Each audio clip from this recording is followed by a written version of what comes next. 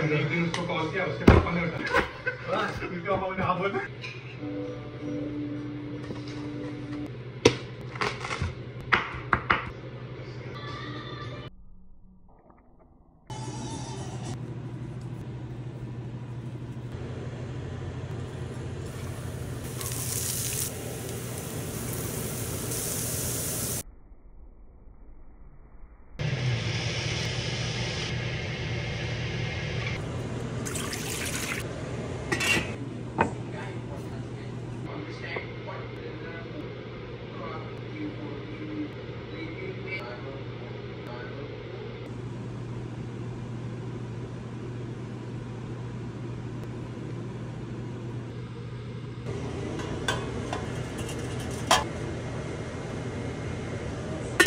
क्या है जैसे गुरुद्वारा में रहता है हाँ।